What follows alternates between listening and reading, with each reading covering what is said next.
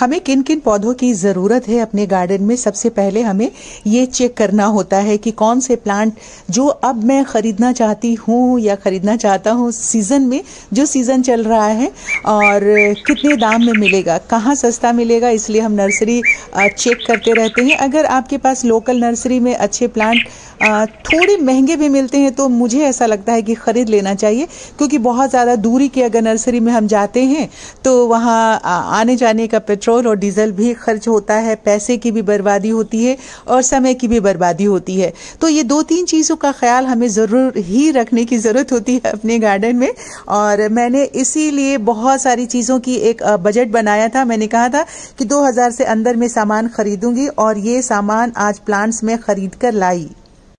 मैं सरिता दिल्ली से आप सबका बहुत बहुत स्वागत है। आज मैं ऑफ़िस से सीधे मेरे ऑफ़िस के पास में सीपी में यानी कि कनाट प्लेस में सैनी नर्सरी है। वहाँ मैं चली गई जब मेरी छुट्टी हो गई तो और वहाँ से कुछ मैंने प्लांट्स ख़रीदे हैं।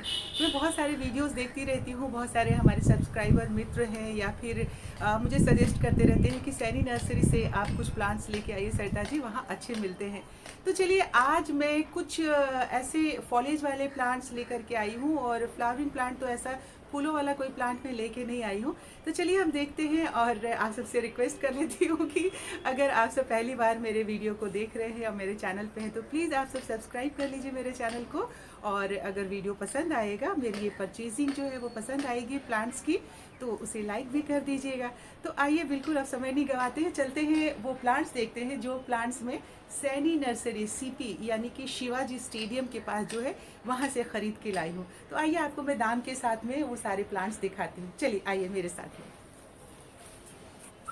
तो साथियों, बहुत ज़्यादा परचेजिंग मैंने नहीं की है। थोड़े से ही प्लांट्स खरीदे हैं क्योंकि कुछ प्लांट्स मेरे गार्डन के ख़राब हो गए थे। जैसे ये कोलियस का प्लांट है, इसकी मैं तीन वैरायटी लेकर के आई हूँ और ये मेरे पिछले सर्दियों में ही बारिश जब हुई थी, तब उस टाइम में बहुत ख़राब हो गया था। मैं उतना उसकी केयर नहीं कर पाई। तो ये जितने प्लांट्स हैं, बहुत छोटे छोटे हैं। आप ये देखिए कि प्लास्टिक पाउच में लगा हुआ है और ये बीस बिल्कुल चार चार इंच के प्लांट्स हैं।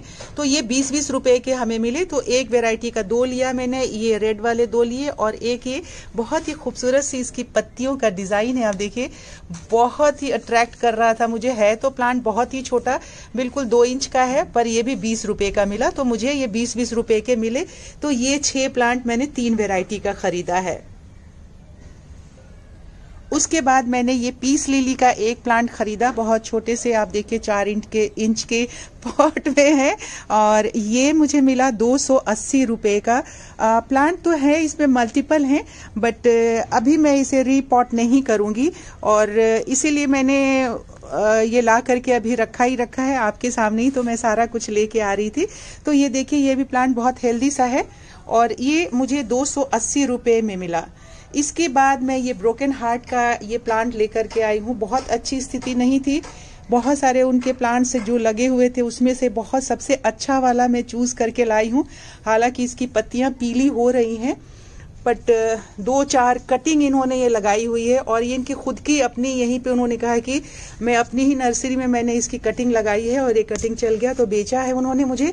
और ये अब अनबिलीवेबल इसका रेट था साढ़े चार सौ रुपये का इन्होंने मुझे ये ब्रोकन हार्ट का ये प्लांट दिया है। इसके बाद मैं ये बनाना सीडम जो है ये लेकर के आई हूँ और ये उन्होंने मुझे दिया ढाई सौ रुपये का।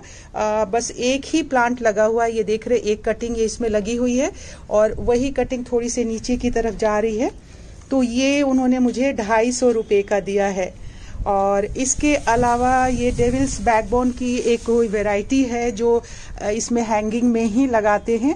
ये मुझे बहुत अच्छा लगा, इसकी पत्तियों का डिज़ाइन मुझे बहुत ही खूबसूरत लगा।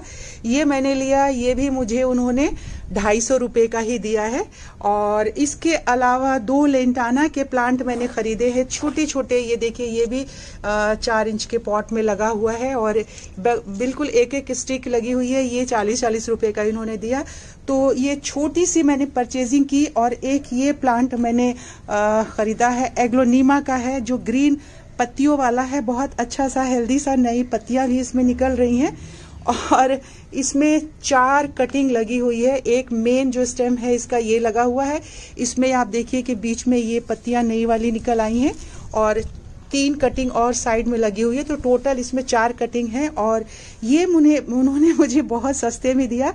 सिर्फ़ हंड्रेड रुपीज़ का ये था।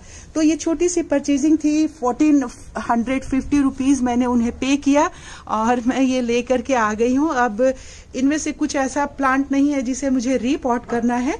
सारे पॉट में ही लगे हैं। अब इसी में रहने दूँगी, सिर्फ़ कोलियस को दो तीन दिन रख के और मैं इसे रीपॉट कर दूँगी। अभी तो बरसात है और मिट्टी सबकी गीली है। तो ये छोटी सी परचेजिंग आप सबको मेरी कैसी लगी साथियों ज़रूर बताइएगा और सब्सक्राइब तो आप कर ही लेंगे और अगर वीडियो पसंद आया है तो प्लीज़ लाइक कर दीजिएगा। जल्दी ही मिलती हूँ। आप सब अपने सेहत का खूब खूब ख्याल रखिए। हैप्पी गार्डनिंग नमस्कार।